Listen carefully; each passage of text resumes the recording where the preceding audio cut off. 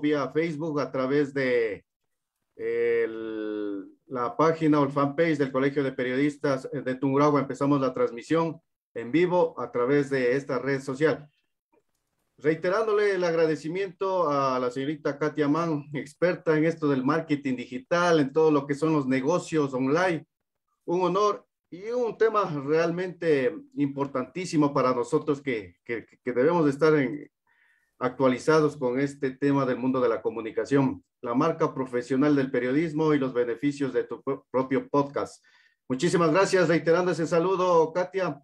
Un honor y a nombre de quienes conformamos este gremio profesional aquí en la provincia del Tumbrahua y, quienes no también que se han integrado en esta noche o que eh, cada momento que organizamos estos webinars, pues se, se conectan y porque esto es un diálogo, un intercambio de conocimientos y experiencias.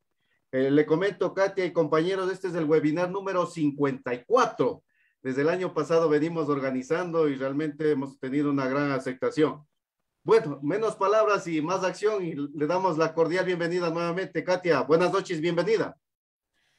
Muy buenas noches, mi querido Carlos. Gracias por la invitación y muy buenas noches a todos aquellos maravillosos profesionales que nos están acompañando el día de hoy. Espero poder aportar la mayor cantidad de contenido útil para ustedes, justamente hablando en este contexto, el de la marca profesional como periodista.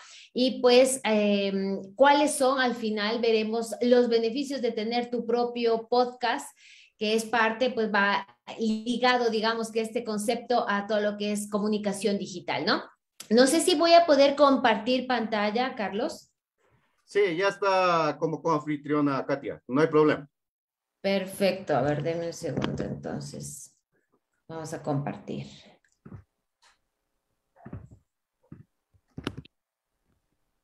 Listo, ahí me confirma Carlos si se puede ver. Sí. Excelente. Bueno, entonces vamos a empezar. Eh, bueno, el tema planteado es justo marca profesional del periodista, ¿no es cierto?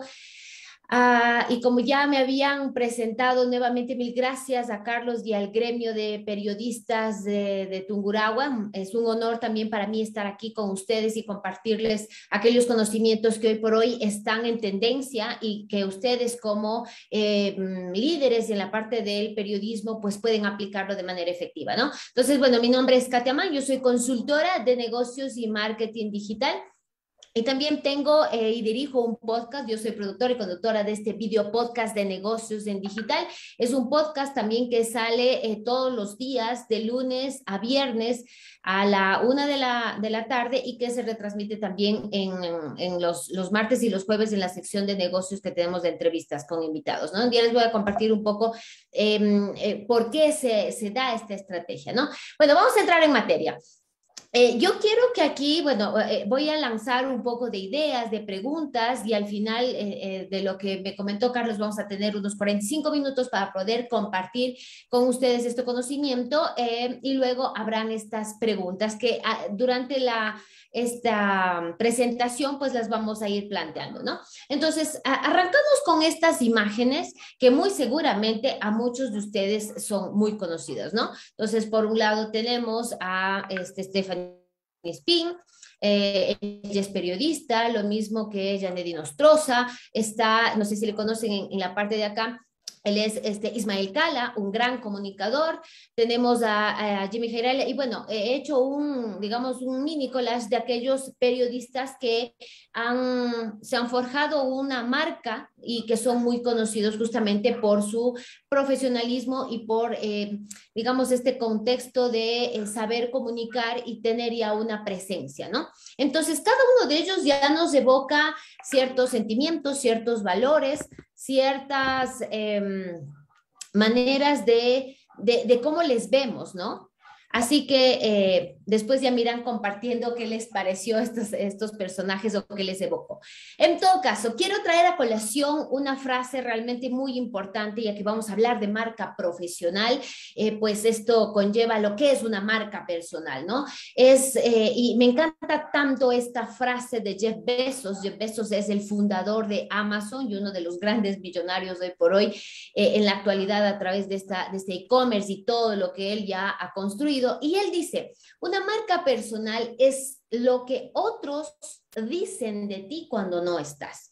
Y sí que es cierto, em, cuando nosotros no estamos, cuando hay, eh, las personas han visto nuestro trabajo, nuestra, nuestro profesionalismo, ¿qué dicen cuando nosotros no estamos? ¿Qué estamos evocando? Y nuevamente regresando al, contexto anterior, cada una de estas figuras evoca ciertos eh, valores, principios, eh, ideales, ¿no es cierto? Eso es lo que hace una marca personal, ¿no es cierto? Entonces, nos vamos a quedar con este criterio. Y luego, eh, una vez que trabajemos una marca, y más bien dicho, la pregunta es, ¿cómo podemos ir construyendo y vamos a entender como marca personal ahora lo que es una marca profesional. Una marca profesional exitosa. Y yo diría que básicamente, para hacerlo muy sencillo, es la intersección entre estas dos grandes eh, circunferencias. Por un lado tengo yo eh, qué es lo que me gusta, qué es lo que me apasiona, qué son las habilidades que se me da muy bien hacerlas, que claro, todos estamos aquí dentro de la, de la profesión del periodismo, este, tan bonita, por cierto, ¿no es cierto? Esas son esas habilidades, estoy segura y convencida que todos aquellos profesionales que están hoy por hoy aquí es porque les apasiona su profesión, ¿no es cierto? Porque les gusta, porque son hábiles, porque pueden pasarse horas y horas en, haciendo su actividad que, no les va a costar porque están en lo que les gusta, ¿no es cierto? Eso por un lado, el contexto, em, la circunferencia roja. Por otro lado, tenemos la circunferencia este, amarilla que es las necesidades del mercado. ¿Cómo yo empato mis necesidades, mis gustos con las necesidades del público objetivo a cual yo le quiero llegar? Cuando yo puedo contrastar lo que a mí se me da bien con aquello que eh, voy a poder servir, de hecho por eso la intersección es estar en una vocación de servicio, servir a la comunidad a través de pronto de la información, es cuando se genera una eh, marca profesional exitosa. Digamos que esta es la base de lo que es una marca profesional. Y aquí les voy a invitar a hacer una mini tarea y es que ustedes con su nombre como tal googleen, ¿no es cierto? Vayan a Google, abran una, ventanita eh, de Google en este momento y digiten su nombre. Yo he hecho este ejercicio con Gabriel Spin y pues automáticamente me trae una información, ¿no? Ustedes ven que al lado este, derecho de Google me trae pues la ficha eh, de, negocios que se llama, están las fotografías de ella, está un enlace a Wikipedia, incluso me trae información relacionada de otros periodistas, pero lo relevante también aquí es que adicional de que me trae esta información, me trae pues más información, me trae, eh, perdón, perdón que moví, me trae información como la de, este, la de Twitter. Obviamente el sector periodístico maneja muchísimo esta red social y pues lo que es interesante, las otras redes sociales, pero sobre todo, y esto quiero puntualizar, que trae su eh, página web, una página web propia de su marca personal, que es lo que está en la parte inferior, ¿no es cierto? Entonces, con esto ya nos podemos dar cuenta cómo Google, que hay que entender algo, nosotros debemos ser aliados de Google, eh, porque ya, ya no hay páginas amarillas, ya no hay gente que busque a través de ese librito grandote, ¿no es cierto?, eh, a los profesionales o a las empresas, ¿dónde va a buscar alguien que necesite información? A través de Google, ¿sí? A través de YouTube también. Eh, entonces, es interesante ver cómo nos está percibiendo Google a nosotros como marca profesional. Si nosotros eh, gestionamos hoy por hoy una marca profesional, si pusimos nuestro nombre, ¿qué nos está saliendo? Y luego al, final me podrán compartir em, qué les salió a las personas que hicieron el ejercicio, ¿no? En todo caso, eh, esto que les menciono, el estar presente y el sobre todo tener su página web es algo relevante, ya lo vamos a ver más luego, ¿no? Ahora, en este contexto, yo quiero eh, invitarles a salir de la caja y a proponer nuevas, eh, digamos, profesiones, nuevas actividades, nuevos infoproductos, nuevas eh, tipos de servicios a través de, eh, obviamente con inteligencia, pensando en qué, que ahora, y esto ha ayudado, digamos, uno de los beneficios, podríamos decir, que obtenemos de la pandemia, es que ha acelerado el proceso digital de los profesionales, de las empresas. Hoy por hoy, todo el mundo está en, eh, en redes sociales. Ahora yo no me tengo que pensar si es que mi público objetivo estará o no estará en una red social porque hay gente que podrá decir, no, es que hay mucha gente que no, realmente no le gusta, no le gusta estar, porque piensa que es el chismorreo de toda la vida y, y, no, pero em, a la larga, todas las personas estarán de una u otra forma, con mayor o menor intensidad, presentes en las redes sociales. ¿Por qué les invito a pensar de esto? De hecho, la invitación es a pensar de manera disruptiva. Justamente estas nuevas tecnologías han ampliado que nosotros podamos eh, desarrollar nuevas eh, carreras, sino las típicas de hace años atrás, ¿no es cierto? Donde ahora hablamos de un podcaster, hablamos de un youtuber, hablamos de un copywriter, hablamos de un generador de contenidos, hablamos de, muchos, eh, de muchas profesiones que están saliendo a la luz eh, obviamente por la evolución de los negocios a través de los medios digitales. ¿sí? Entonces, se les invito a que vayamos saliéndonos de, bueno, ya no es, y ustedes habrán visto también que ahora, eh, post pandemia, la, el sector justamente del de, el periodismo se ha visto afectado porque muchos medios de comunicación tuvieron que eliminar a varias personas de sus listas y muchos profesionales que se hicieron. Comenzaron a trabajar su marca profesional a través de hacer directos o sus propios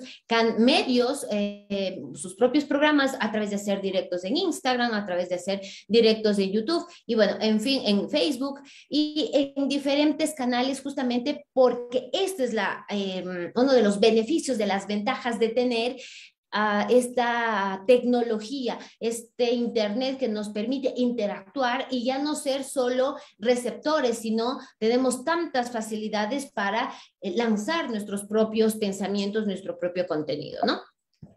Dentro de esto, bueno, ya de que hemos pensado de manera disruptiva y podemos ver que dentro de nuestra profesión podemos volcarnos a ser nuevos eh, profesionales, lanzar eh, de pronto infoproductos, servicios, mentorías, asesorías, em, dar clases, porque no, habrá aquí mucha gente profesional con hartísima experiencia, ¿no es cierto?, que podrá ese conocimiento encapsularse y empaquetarse en eh, una web, en servicios en eh, cursos eh, online para mucha gente, las nuevas generaciones que quieran aprender. Esto como parte de tantas cosas que se pueden hacer a nivel digital. Y bueno, yo al final les tengo un regalito, pueden, eh, les voy a dejar está un ebook muy cortito sobre estos 10 pasos para poder construir una marca personal, una marca profesional de manera exitosa.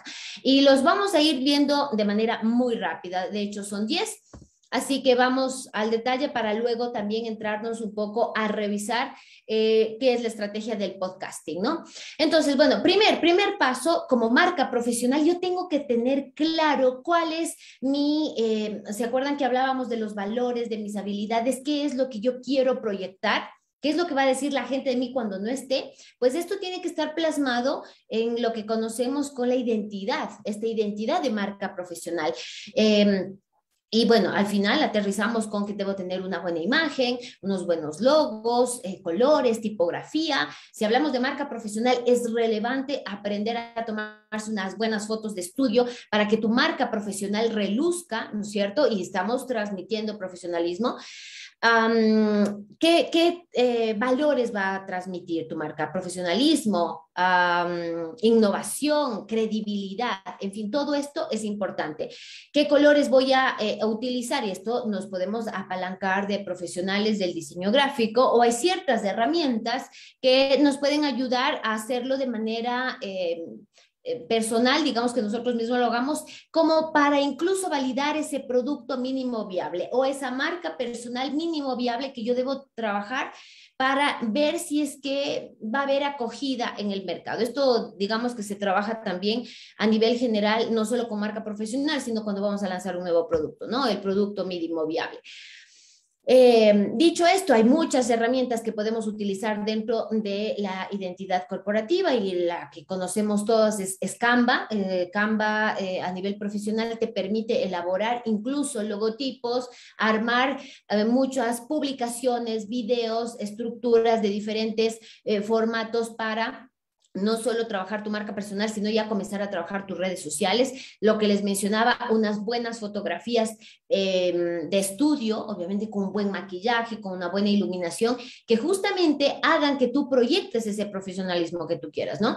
Aquí también les he puesto el Auchaco, que es igual una web en la cual te permite em, eh, identificar por dónde va a ir la marca personal y qué tipo de tipografía, colores, logos van a evocar diferentes tipos de eh, valores que tú quieras hacer con tu marca, ¿no? Vamos avanzando. La segunda eh, etapa, digamos, en esta parte es el hacer un análisis. Sí o sí, nosotros necesitamos hacer un análisis de qué está pasando en el mercado, ojo, qué está haciendo la competencia y eh, cuál es mi eh, buyer persona, cuál es mi cliente, cuál es mi público objetivo, qué es lo que quiero hacer. Y claro, dentro de el análisis del mercado, pues tenemos algunas herramientas de hecho, en el ebook les comparto algunas de ellas, por ejemplo, para ver tendencias. Yo me voy a especializar, no sé, en la parte de comunicación en el área de negocios, o alguien se puede especializar en la parte de deportes, o alguien puede hacer la parte de... Em, eh, entretenimiento, finanzas, bueno, en fin, hay tanta, y esto es lo bonito, que la tendencia ahora es que nos vayamos haciendo especialistas, esto sería eh, digamos que formaría parte de esa especialización que nos va a permitir eh, liberarnos o salirnos o diferenciarnos de la competencia, ¿no es cierto? Entonces, estas tres áreas es súper importante hacer este análisis antes de lanzarme ah, y con, con mi propuesta de marca profesional, ¿no? Ahora, eh, ¿qué herramientas tenemos? Pues bueno, está Google Trends, eh, tenemos el planificador de palabras dentro de Google Ads que me va a permitir saber cuántas búsquedas hay sobre mm, eh, algún sector en especial que yo quiera promocionar, que quiera trabajar mi marca personal. Y una herramienta muy valiosa que son las audiencias dentro de Facebook Ads que me permite dimensionar el tamaño de la demanda, de la demanda pasiva, aquellas personas que forman parte de mi nicho de mercado. Vamos a poner un ejemplo. Digamos que nosotros vamos a lanzar una marca profesional eh, de periodismo, de comunicación especializada en el sector de los negocios. Bueno, ¿cuántas personas, cuántas empresas, cuántos profesionales están eh, involucrados en esa temática? ¿Les gusta? ¿Es un tema de interés? Bueno, a través de esta herramienta podemos dimensionar si son un millón, dos millones, tres millones, cuánto es y si esta demanda me, o esta cantidad me va a servir para yo poder lanzar mi eh, marca profesional, ¿no? Ahora, em, la tercera fase es el diagnóstico. ¿Y a qué me refiero con el tema del diagnóstico? Pues bueno, primero eh, hemos visto de pronto casa afuera eh, qué está pasando con el mercado, con la competencia, con cuáles las características de mi público objetivo, de mi buyer persona, ¿no es cierto? Ahora es importante ver casa adentro, qué está pasando conmigo, cuáles esas, y yo creo que todos vamos a conocer el FODA, ¿no es cierto? O el DAFO, como muchas personas lo conocen, que es la parte interna, fortalezas y debilidades. ¿Qué es lo que se me da a mí bien, en qué soy especialista. Adicional de ser un profesional del periodismo, bueno, qué sector de pronto domino, qué habilidades tengo, se me da mejor eh, salir en, en, las, ah, en las cámaras, eh, no tengo problema, o de pronto no me gusta mucho eso, a mí lo que me gusta es más escribir. Toda esta información es tan relevante para luego poder construir una buena marca profesional, ¿no?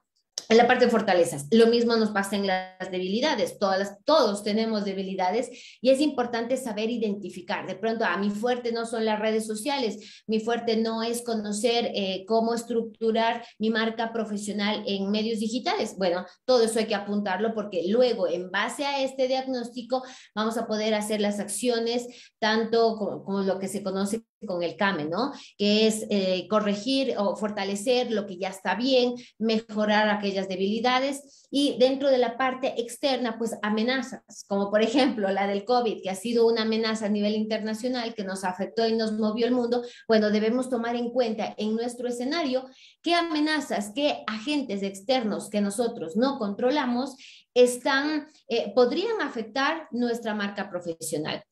Y eh, aparte de amenazas, bueno, tenemos también eso sería lo negativo y la parte externa y lo positivo serían las oportunidades. ¿Qué oportunidades tengo ahora, hoy por hoy, de dar a conocer mi marca profesional? Y de hecho de esto se trata, de hablar de todas estas oportunidades que hoy tenemos a través del Internet y todos los canales digitales, muchos de ellos gratuitos que podemos utilizar para darnos a conocer, ¿no?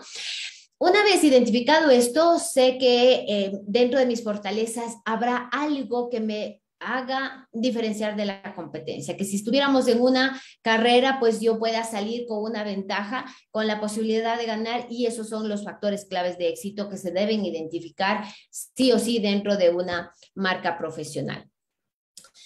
Ahora, em, una vez identificado esto, claro, nosotros eh, podemos decir eh, cuál es ese posicionamiento único, cuáles, ah, cuáles son aquellas características que me hacen único como, como ser humano. Entonces, igual, les, voy a invitar que nuevamente eh, en el enlace que les deje al final puedan descargarse este ebook donde ahí puedan imprimir y llenar y decir, bueno, ¿cuál es mi posicionamiento? Bueno, yo soy experto dentro del periodismo, ustedes habrán diferentes eh, subcategorías eh, o subnichos que cada cual de pronto puede especializarse o incluso con otras habilidades, como habíamos dicho, manejo de otros temas de otros sectores o gestión, por ejemplo, eh, alguien puede sí gestionar de manera eficiente las redes sociales, es un plus, ¿no es cierto?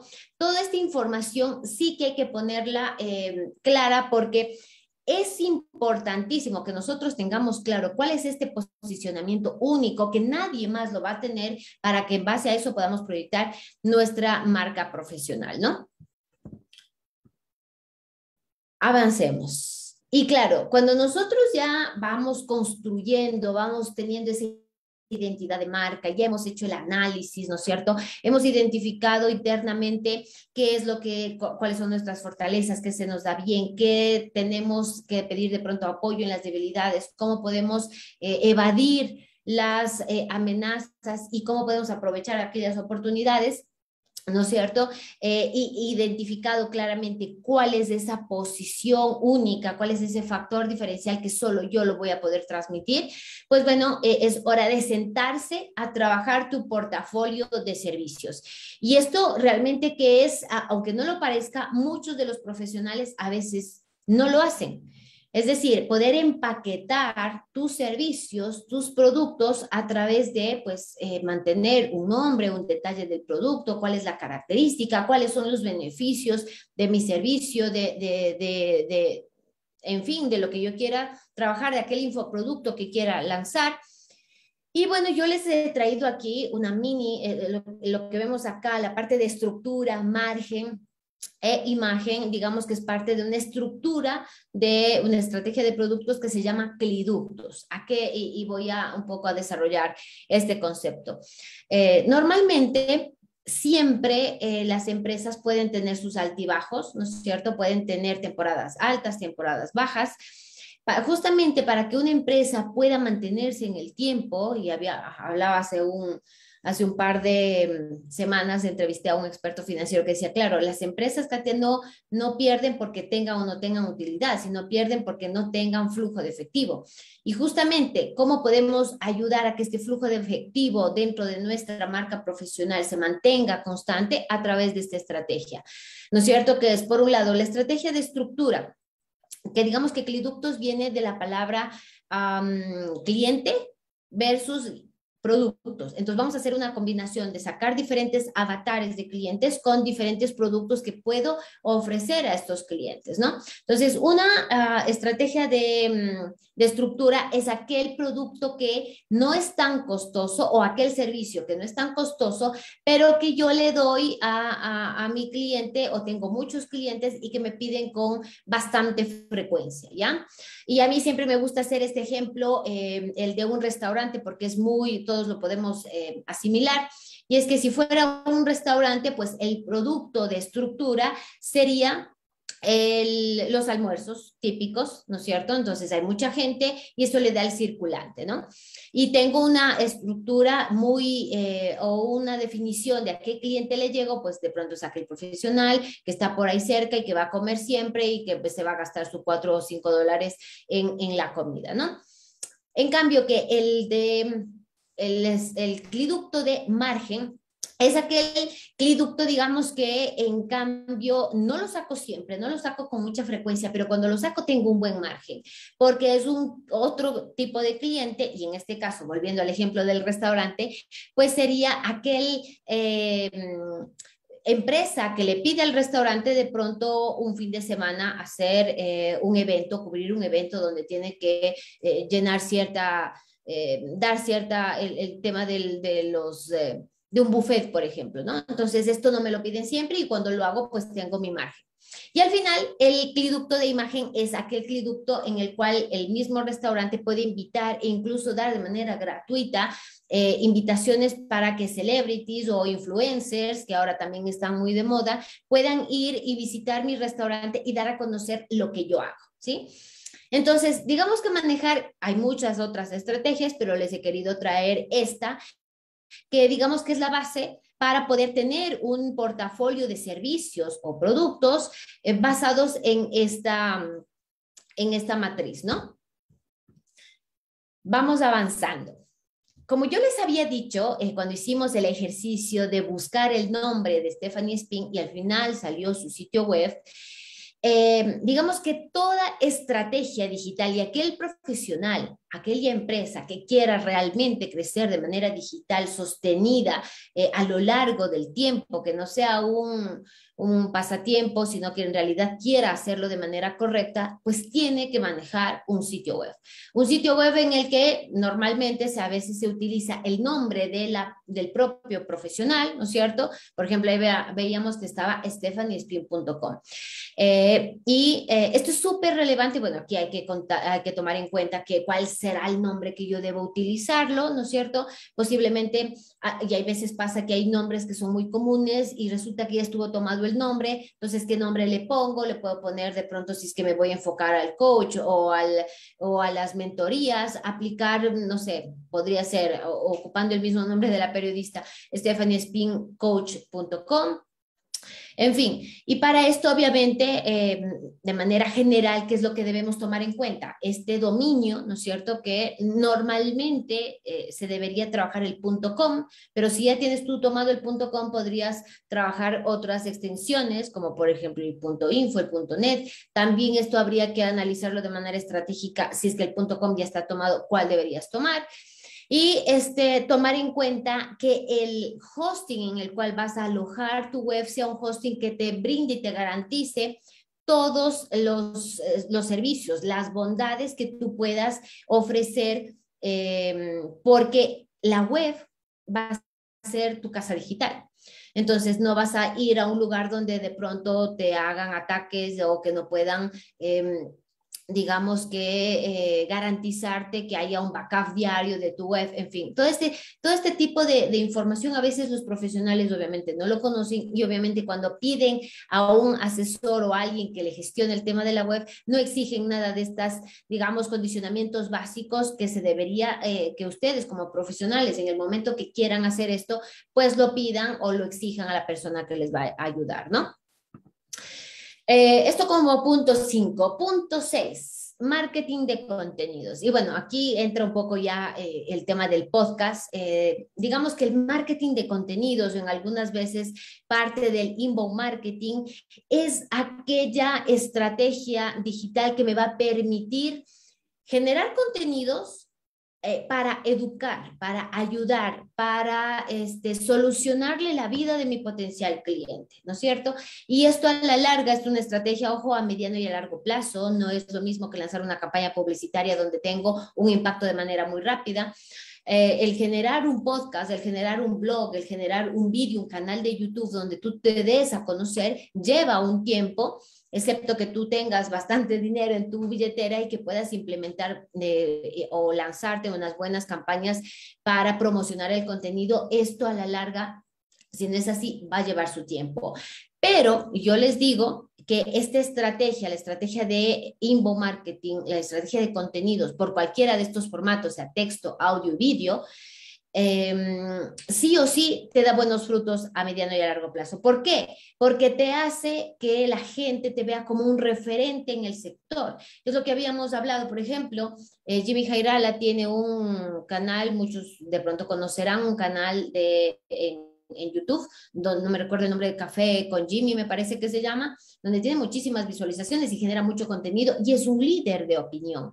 Entonces, lo que nosotros necesitaríamos, sí o sí, en cualquiera de los campos o los subnichos o los sectores que manejemos nuestra marca profesional, que se haga obviamente con... Eh, con esta generación de contenido que me va a permitir a mí ser un líder de opinión. Que cuando alguien este, piense en utilizar un servicio que yo le puedo dar automáticamente, piense en mí porque durante mucho tiempo yo le estuve generando ese contenido, le estuve educando, le estuve ayudando a través del contenido, de estar presente también en las redes sociales, que también lo vamos a ver, ¿no? Entonces, bueno, digamos que, y para terminar esta, esta sexta parte, el contenido en texto es el blog que tú puedes ir colgando dentro de la web, es decir, contenido relevante a, a, a tu público objetivo. El audio vendría a ser un podcast, que ya vamos a, no me voy a demorar mucho en esto porque más adelante vamos a especificar un poco más sobre el tema del podcast. Y el vídeo, pues, a través de un canal de YouTube, a través de un canal de vídeo y otras plataformas, pero sobre todo, digamos que la más fuerte podría ser eh, YouTube y, y, Vimeo, ¿no? Avancemos. Eh, como les había mencionado, aparte de generar este contenido, este contenido sí o sí tiene que estarse eh, promocionando, digámoslo así, o, o, o dándolo a conocer, no tiene que quedarse solo en la web, sino que tiene que ir a las redes sociales. Recordar que em, la web es tu casa digital y a diferencia de una oficina o una casa física tuya o una eh, donde tú desarrolles, ¿no es cierto?, este, tu, tu gestión eh, de manera física, pues la gente visitará, te verá, alguien pasa por al lado de, otro, de otra oficina, de otro local, pues te verá. Lo que no pasa en la web. En la web, tú tienes, si no llevas tráfico a la web, es un punto en el gran universo del Internet donde no va a llegar tráfico. Entonces, uno de los mecanismos de llevar tráfico a la web y que la gente conozca dentro de tu web tus servicios, tu propuesta de valor, es trabajar de manera eficiente, constante, inteligentemente, con una estrategia, las redes sociales. ¿Cuáles redes sociales? Bueno, mientras en más estés, mejor, pero en más dependiendo que si tienes la capacidad de estarlo de manera eh, profesional y de buena calidad. Si no, tienes que enfocarte en las mínimas indispensables que tú necesites para trabajar tus, em, tu red, ¿no? Entonces, en forma general, podríamos decir que para este, servicios, por ejemplo, si un profesional del periodismo o alguien quiere ser eh, o sacar su sitio web en el cual va a subir cursos online de cómo eh, trabajar, de cómo manejar una buena entrevista, cómo hacer buenas notas de prensa, en fin, que si yo pueden haber muchísima información al respecto. Y si este producto va a estar enlazado a otros profesionales, pues bueno, una red social que sí o sí te va a interesar trabajar va a ser LinkedIn, porque en LinkedIn vas a tener que trabajar o vas a poder llegar de manera más fácil con este contenido a aquellos profesionales que quieran aprender de estos conocimientos que tú estás empaquetando en tu web, ¿no? Esto como por un ejemplo. Esto en la parte de estrategia de social media. Ahora, Vamos con el tema de publicidad digital. Como les había mencionado antes, las estrategias anteriores, eh, sí o sí, si se maneja de manera constante, de manera, em, digamos, coherente en el tiempo y trabajando, obviamente, pensando en tu público objetivo, dan resultados, pero a mediano y largo plazo. Pero hay mucha gente que me dice, Katia, yo necesito ya darme a conocer, necesito ya conocerlas, este nuevo infoproducto este, o tengo estas mentorías para aquellos profesionales profesionales del periodismo donde yo les voy a explicar tal cosa, pues ya quiero darme a conocer. ¿Qué, qué es una estrategia para ejecutarla ya en el corto plazo? Es la publicidad digital, donde tú a través de, y tenemos, eh, digamos, la publicidad ya sea en Facebook, en Instagram, en LinkedIn, Twitter, en Google también, para promocionar directamente las búsquedas que vayan y empaten a nuestra web. Pero aquí se necesita presupuesto, se necesita dinero. Si no lo tienes, pues no lo puedes hacer. O te alías con alguien que tenga dinero, pero se necesita eh, invertir para hacer este, este impacto de manera más rápida, ¿no? En la parte de publicidad. Otra cosa, y es, eh, me parece muy bonito todo, lo que están haciendo aquí, este tema de networking, el de estar conectándote con otros y digamos que aquí el networking se puede hacer de manera online, se puede hacer en LinkedIn, se puede hacer a través de estos webinars maravillosos que ustedes están construyendo o de otros eventos en el cual ustedes puedan relacionarse con personas de su mismo sector, pero también personas de otros sectores para abrirse mercado, ¿no? Esto es súper importante y forma parte de, eh, indispensable de aprender a gestionar tu marca profesional. El networking te ayuda, te abre tantas puertas, es valioso esta, esta actividad y, de igual de, hacerlo de manera constante, ¿no? ¿Cuántas veces yo visito un, eh, estoy en un webinar, estoy en un Zoom, estoy este, colaborando con algún grupo, con alguna organización ¿Qué es lo que estoy haciendo de manera activa para relacionarme con otras personas? Porque si bien es cierto, la parte digital ayuda, pero también la parte, eh, y claro, les había dicho que el networking también se lo puede hacer digital, pero también esa interacción con otras comunidades también de manera física es súper importante. Y bueno, em, y al final, la parte final, eh, digamos, de estos 10 pasos imprescindibles a manejar eh, dentro de tu marca profesional sería la capacitación. Hoy por hoy estamos obligados sí o sí a mantener este ritmo, a, mantener este hábito de estar en constante aprendizaje. Estoy segura que dentro de su sector, dentro del periodismo, habrán siempre nuevas metodologías, nuevas formas de trabajar, de hacer las cosas, nuevos canales digitales de comunicación que vamos a ver, ah, y esto es lo que les quiero compartir también ah, para terminar esta esta, eh, esta ponencia, ¿no es cierto?, es el podcast, pero en general, el estar constantemente capacitándonos es parte, digamos, del ADN que sí o sí, para no quedarnos relegados y que igual vamos a estar compitiendo con nuevas generaciones que es más fácil para ellos estar en redes sociales, es más fácil estar a través de utilizar todas estas plataformas digitales, nosotros sí o sí debemos estar pues a la vanguardia de los nuevos conocimientos y las nuevas tecnologías, ¿no? Y bueno, ahora sí, vamos a hablar un poquito del video podcast. Y me gustaría, bueno, no sé si hay alguien en la sala que ya sepa, que, entienda, que, comprenda qué es el video podcast, pero digamos que el video podcast eh, en un contexto es una transformación digital, es una forma de empacar los contenidos a través de la innovación, de generar una comunicación a través de la innovación. Y el video podcast es un formato que vino para quedarse. Si bien es cierto, acá en el Ecuador no está tan desarrollado, pero lo está, eh, se está creciendo. En otros países como Estados Unidos, España, México, eh, Argentina también, los, ya las, la creación de eh, programas a través del video podcast comienzan a tener nuevo impacto. ¿Por qué? Pues ya vamos a ver cuál es el, digamos, el contexto de por qué tiene tanto impacto el video podcast, ¿no? Y es porque a las nuevas generaciones y a todos en general ya nos gusta el contenido on demand, es decir, el contenido cuando yo lo quiera eh, escuchar, cuando yo lo quiera ver, por eso también Netflix ah, tiene mucho impacto y todas estas, estas herramientas de streaming.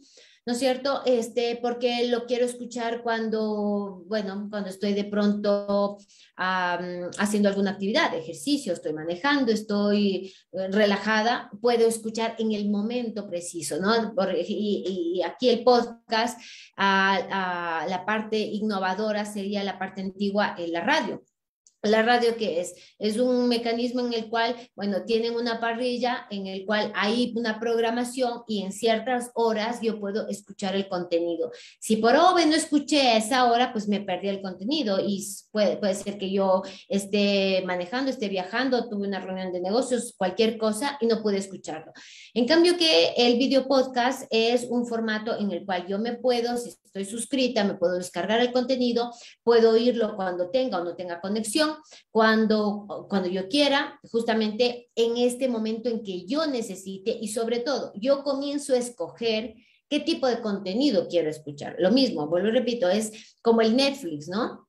En, el Netflix ya no me ponen como la típica televisión, igual el Netflix sería la evolución de la televisión. En la televisión tengo los programas ¿no es cierto? Que me ponen en cierto horario, que incluso me interrumpen la programación para ver una publicidad, que esto no me pasa en Netflix. En Netflix yo puedo escoger el, el contenido, si estoy con ganas de divertirme, lo veo en ese momento, no hay interrupción de publicidad, lo mismo pasa, este, este mismo formato de, de cómo consumir el contenido es lo que está cambiando.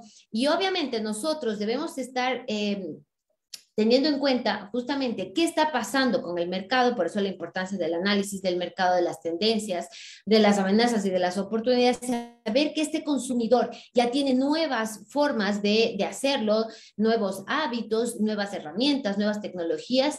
¿Qué estoy yo haciendo con mi marca profesional, cómo estoy llegando yo a este, em, a este potencial cliente o a, mi audiencia, en este caso, con eh, las nuevas tecnologías, ¿no?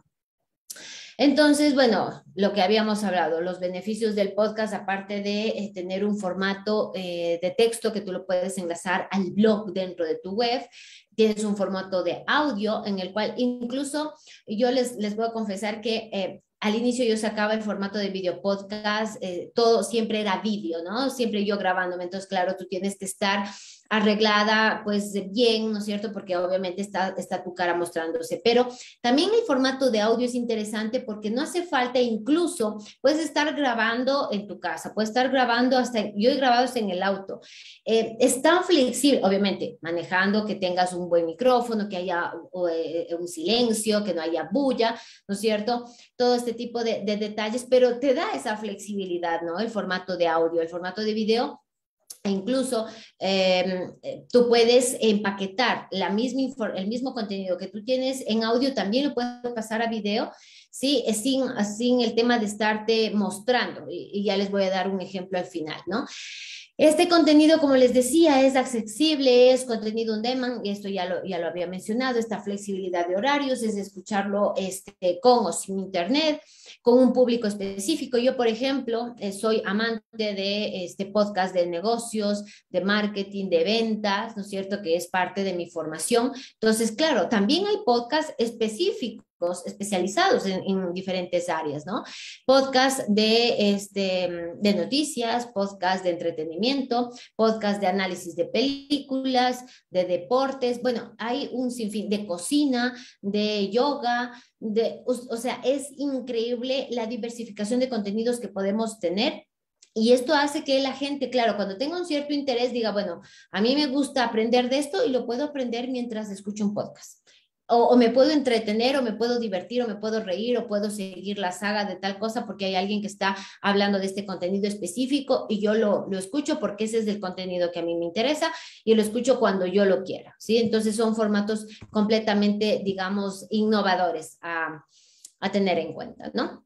Entonces, bueno, la gente, eh, y la idea es que la gente escuche lo que quiere, cuando quiera y en los dispositivos favoritos que quiera. Lo puede escuchar en su portátil o en su PC, lo puede escuchar en el teléfono, en la tablet o verlo en la televisión, lo puede ver donde quiera con estos formatos, ¿no?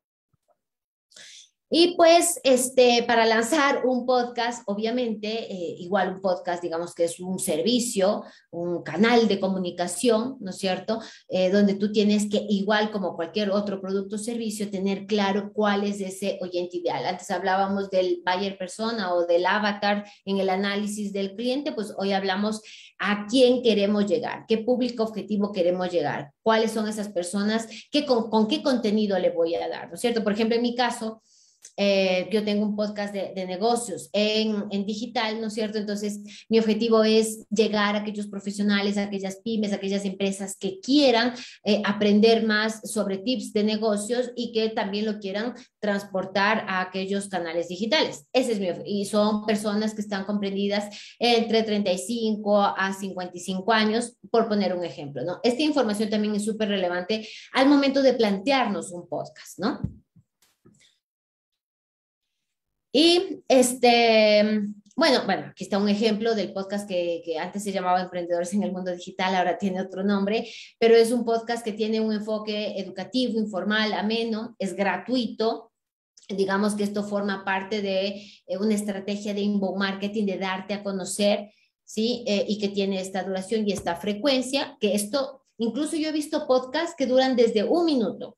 O sea, tú puedes hacer un podcast dando un tip diario de, de, no sé, tú te quieres posicionar como un experto en creación de notas de prensa, eh, pues, o, cómo manejar las relaciones públicas, bueno, puedes hacer un podcast hablando de aquellos tips y te aseguro que habrá gente que quiere escuchar ese contenido y tú te, te darás a conocer como experto en el sector porque siempre estuviste dando esos tips, ¿no? Hay mucha gente que me dice, Katia, pero si yo ya doy estos contenidos, yo doy lo que yo sé hacer, ya la gente no me va a contratar. No, una cosa es que tú les digas cómo, em, qué pueden hacer, pero otra cosa es que cómo lo hagas. Y aquí, como decía, y cuando les mencionaba al inicio que pensemos de manera disruptiva, hay tantas maneras de generar negocios a través de nuestro conocimiento que puede ser a través de mentorías, a través de asesorías, a través de este coach, a través de Em, cursos online o talleres o, webinars pagados o incluso podcasts pagados. Ya en otros lugares hay podcasts donde eh, tú tienes un podcast de cierto contenido y cuando te van a dar un contenido de más valor, que digamos que es con una especie de mini curso, ese podcast ya es pagado. Hasta eso eh, se está ya viendo en otros países, ¿no? Y pues, bueno, en general, lo, lo bonito de, de, manejar un video podcast es que tú tienes audiencia en las diferentes redes sociales, porque obviamente eh, posteas todo el contenido que estás sacando en las redes sociales, pero adicional tienes el contenido que se propaga de manera eh, inteligente en los diferentes podcatchers. Y ahí está Spotify, está Google Podcast, está iBox, está iTunes, está eh, el Apple de Podcast, bueno, en fin, hay el, el todos estos podcasters donde la gente por A te puede encontrar también con, eh, con, tu contenido, ¿no? Y obviamente en la web. Yo siempre recomiendo, de hecho hay podcasters que hay ciertas plataformas que te permiten y alojar el mismo contenido de audio dentro de esa plataforma de manera gratuita, pero eh, digamos que toda esa generación de contenido tú lo tienes que apalancar en tu web, pensando en que recuérdense que al inicio hablábamos de Google y si es que yo como una ente, eh, como una marca profesional, trabajo mi, mi, mi, mi marca, tengo mi sitio web, lo interesante será que tu propio contenido esté dentro de la web de manera inteligente. Con eso conseguimos que el tráfico vaya a mi web, que Google me posicione porque tengo mucho contenido relevante y cuando alguien esté buscando algo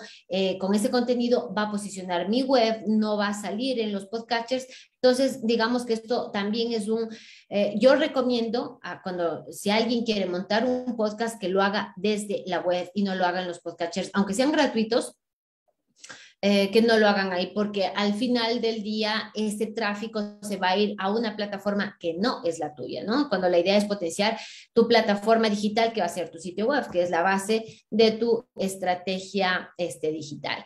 Y bueno, aquí este es el formato un poco de lo que, que yo hago en el video podcast de negocios en digital. Y este, básicamente eso, no sé si no, no, ya con eso terminamos. Con eso terminamos.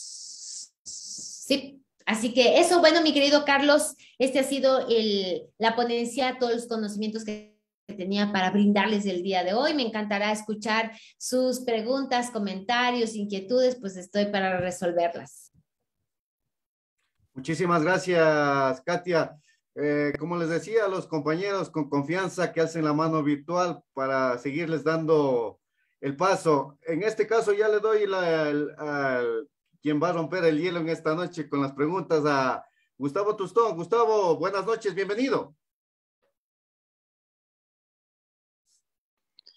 Hola, ahí estamos. ¿Me escuchan? Sí, sí, ahí te escuchamos. Sí, ahí te escuchamos, Gustavo. Correcto. Eh, muchas gracias en primera instancia por eh, estos importantes conocimientos que nos brindan.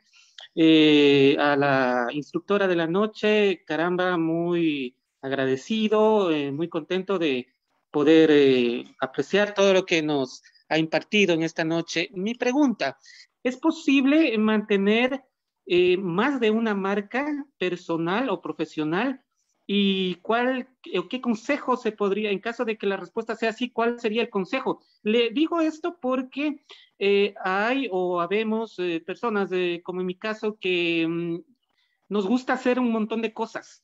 Y, y, con el pasar de los años, y en mi caso, que ya tengo varias décadas de edad, y se va adquiriendo un cúmulo de conocimientos, ya no solo por decir en periodismo, sino también se aprende otros ámbitos. Y esos dos o tres ámbitos igual nos apasionan. Y ¿por qué no eh, eh, que la gente nos identifique no solo en el ámbito del periodismo, sino también en otras facetas que, que uno se puede tener? ¿Es bueno eh, mantener más de una marca personal o especializarse solo en algo?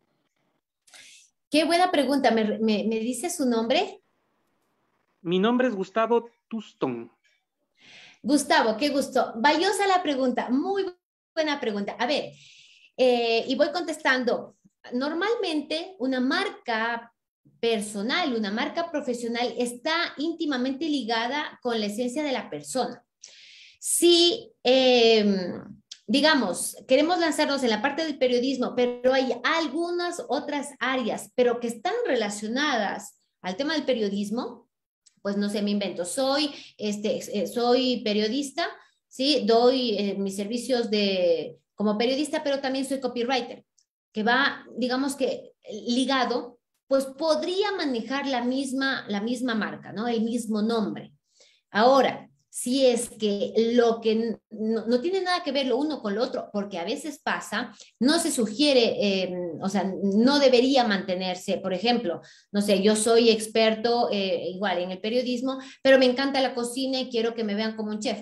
No tiene que ver nada que ver lo uno con lo otro. Ahí sería mejor pues de pronto gestionar una marca eh, de marca corporativa para la una o para la otra, pero para que no confunda, porque normalmente dentro de marketing y dentro de la marca profesional, lo que va a hacer es eh, digamos que eh, proyectar y dar esa percepción al público. Y si es que yo tengo bajo la misma marca conceptos completamente diferentes, avatares completamente diferentes, no voy a tener el mismo impacto. Y lo que, y, lo que yo también podría compartir como experta también en la parte de, de consultora de negocios es que sí o sí yo debo primero arrancar una marca, o un nicho de mercado, una especialización, una habilidad, y dentro de las habilidades yo puedo crear varios productos, es importante ir eh, trabajando uno en, en particular lo posiciono, lo, gestiono, valido, funciona, no funciona, ah, sí funciona, qué es lo que me ayuda a mejorar, qué no, para ir migrando solo un producto a más productos. No se diga si yo tengo que trabajar dos marcas diferentes con avatares diferentes y con enfoques diferentes, es un desgaste. Entonces, normalmente siempre se sugiere que una vez montado una área, digamos que la parte del periodismo, esa es la primero que voy a montar, cuando yo ya tenga, que esto me va a llevar eh, su tiempo, si todavía no lo he montado, lo tenga ya bien pulido, bien perfeccionado, ya tengo incluso mi flujo de efectivo, ya tengo mis clientes, ya estoy viviendo de esta marca profesional, pues bueno, ahí sí puedo comenzar a, digamos, a, poner los huevos en, otras canastas, como se dice, ¿no? O a eh, diferenciarme o hacerme, eh, lanzarme por otros sectores, lo puedo hacer, pero en un futuro, y no con la misma marca, vuelvo y repito, si es que es profesional, sino ahí mantenerlo como, em, como una marca eh, corporativa para lanzar otros tipos de, de productos, si es que son nichos completamente diferentes. Muchísimas gracias, Katia. Le doy el paso a Alejandro Martínez. Alejandro, buenas noches, bienvenido.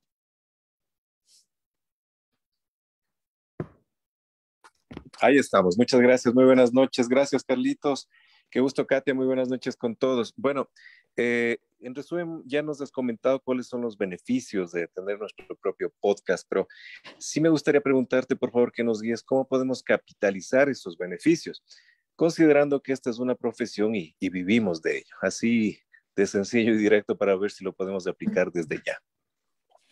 Sí, claro que sí. A ver, como yo decía, eh, eh, digamos que abrir un podcast y vivir de un podcast, pues sí se lo puede hacer primera, pero obviamente yo tengo que mantener como todo negocio, voy a tener que validar, tengo que este, pulir bien a qué público objetivo, tengo que tener una propuesta sumamente clara, ¿no es cierto? Y si es que yo, de, como ya ya tengo mi experiencia, si es que es el caso, eh, posiblemente ya tengo contactos, puedo pues comenzar a vender auspicios dentro del de el podcast para promocionar y llegar a más audiencia.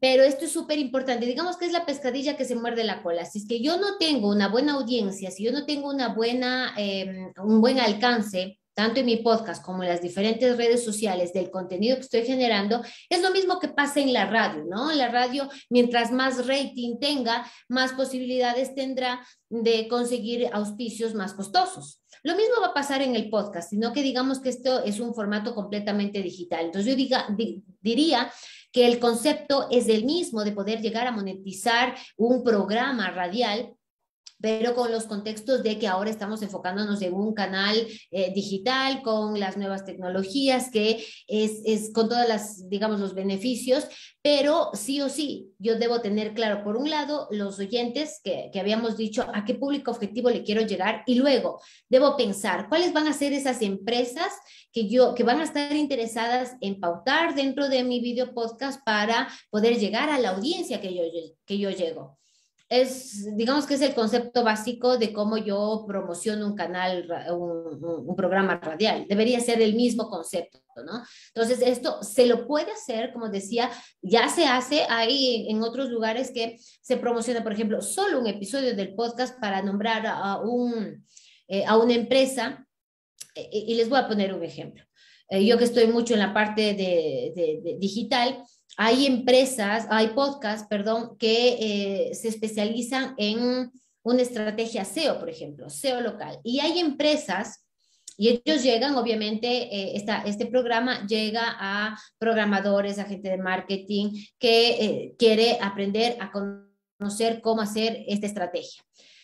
¿Quién es el, el, esa es su audiencia? ¿Cuáles son las empresas que ya pagan para salir en este podcast? Pues bueno, aquellas empresas que tienen hosting, aquellas empresas que trabajan el tema de SEO.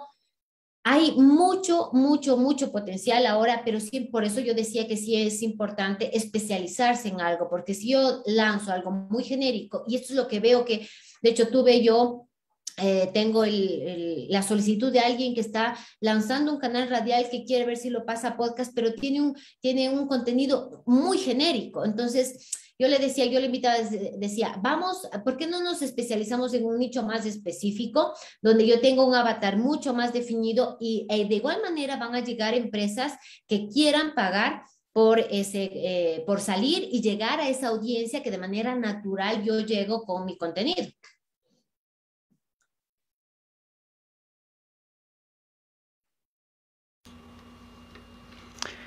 Listo, estimada Katia, vamos a darle paso a...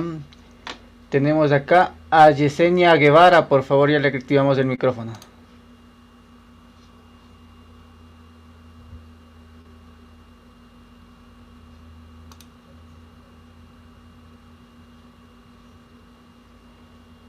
Adelante, Yesenia.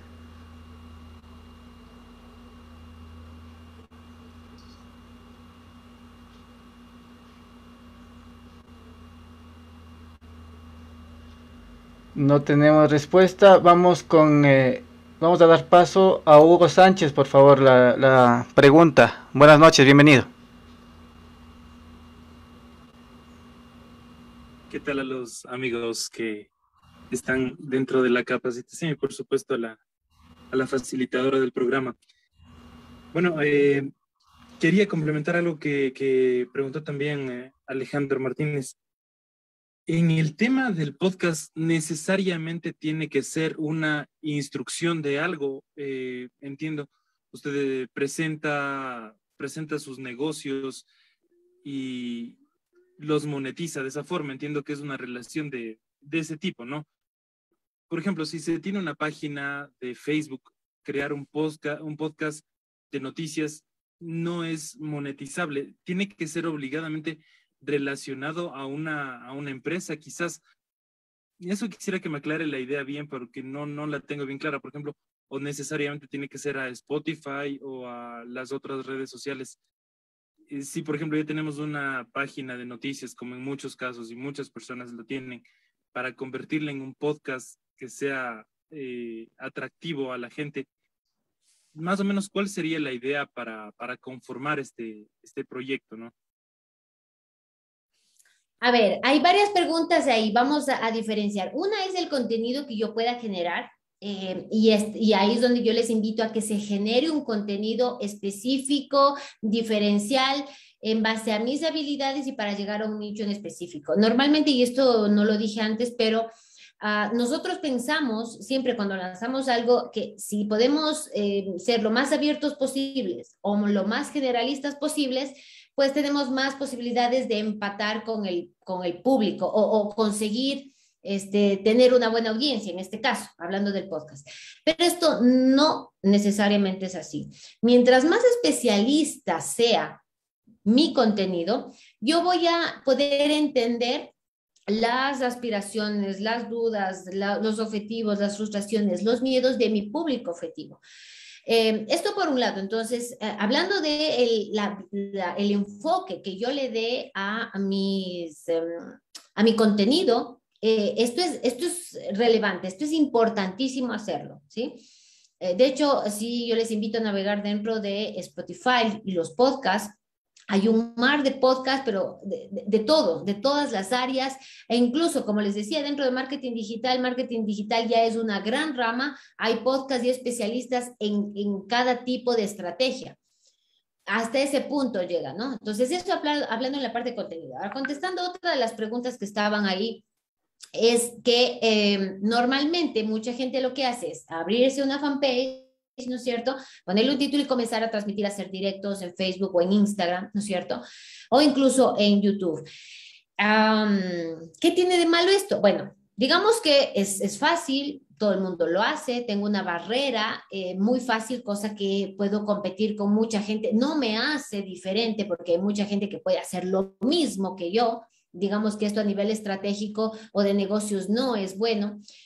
Pero eso por un lado, pero lo, otra de las cosas agravantes que podríamos eh, decir de manejarlo así es que yo estoy generando mi contenido en una plataforma de terceros.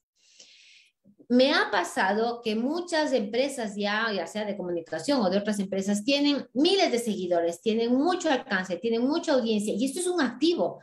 Dentro de la parte digital, tener una audiencia, tener seguidores, tener engagement es un activo en el cual yo es gente que eh, fidelizó con mi marca, algo le gusta de lo que yo estoy haciendo, le dio me gusta, le dio me gusta a la, página, a la publicación.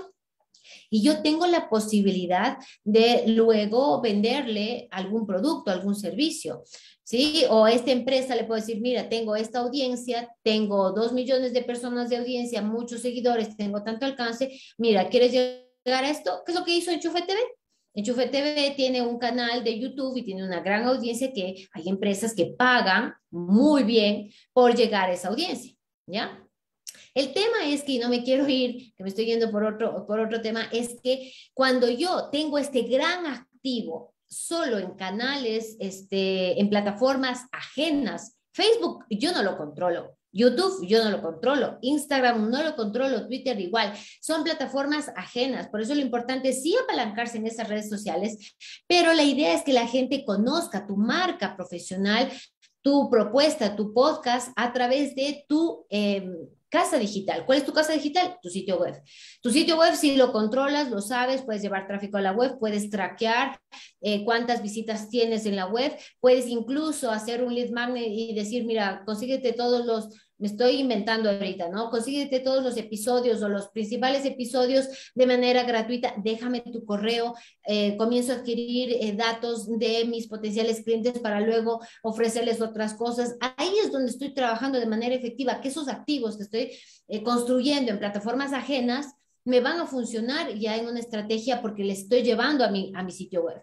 Y siempre hago un ejemplo, tú construirías tu casa en la casa de tus, en el terreno de tus suegros y, sobre todo de tus suegros que no los conoces, muy seguramente que no. ¿Dónde vas a construir tu casa? Vas a construir tu casa en tu terreno, donde tú tengas la potestad y el control de, de todo. Y esto no pasa en las redes sociales, ¿sí? Entonces, por eso es, la estrategia es llevar a, y digamos que las, las redes sociales están de periféricos, ¿sí? Eh, yo me, me apalanco en las redes sociales porque son gratuitas, porque ahí está la gente, porque ahí me doy a conocer, pero El objetivo es llevar tráfico a mi web, a mi sitio web, a mi marca personal. Si recuerden, estaba stephaniespin.com. Ella ya tiene aparte que tiene un, hacía programas en, Instagram, tiene eh, cursos ya online dentro de su sitio web. Eso es saber gestionar una buena marca profesional y gestionar también un contenido que no esté en plata, que no solo esté, porque también debería estar, no solo esté en los, en los, en las plataformas de las redes sociales, pero que también esté en tu web. Muchísimas gracias, Katia. Le doy el paso a J. J, no sé quién es J, pero le damos la, la bienvenida. Buenas noches, J.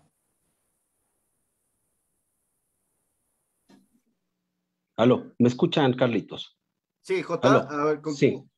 Javier Álvarez, muchas gracias, Carlitos. Te agradezco mucho la apertura. Lo mismo a ti, Katia, por, por esto, eh, que es muy importante. Tres preguntas muy cortitas. La primera, tú hablabas al respecto de la necesidad de definir un estilo, de hacer un análisis y un, un, diagnóstico. Quisiera saber si es que es en ese orden, puesto que para definir un estilo, en teoría, tú deberías tener primero un análisis y un diagnóstico de la situación que luego te lleve a definir e, ese estilo.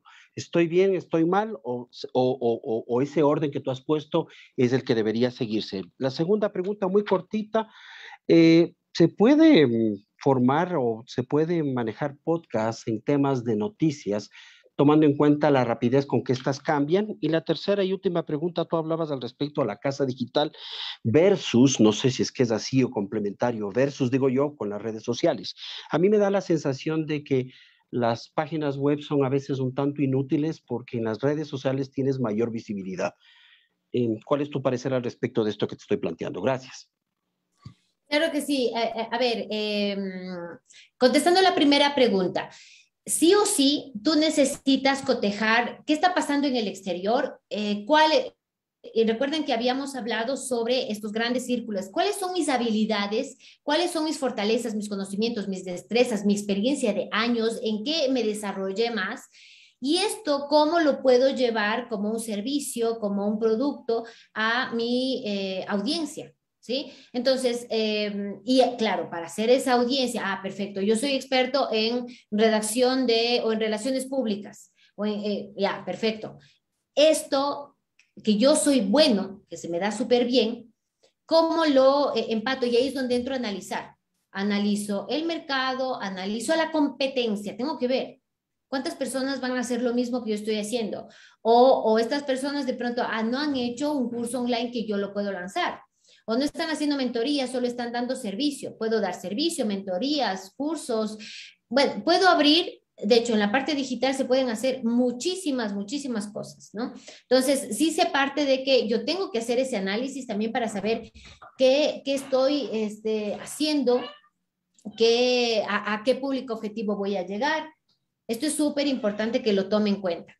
Y la otra que tú mencionaste, a ver, eh, la gente está efectivamente en las redes sociales, está ahí socializando, no quiere que le vendan, está socializando. Yo de manera inteligente debo generar un contenido que compite con el, cumpleaños, las, las, fotos de la playa, las fotos del gatito, compito porque la gente está allí para socializar, no para vender. Yo tengo que generar un contenido tan atractivo, por eso el tema de que nos enfoquemos en un nicho específico donde yo sepa sus dolores, sus, sueños, sus habilidades, todo, para poder... Eh, digamos, empatizar con, con, ese, con ese avatar, ¿no es cierto?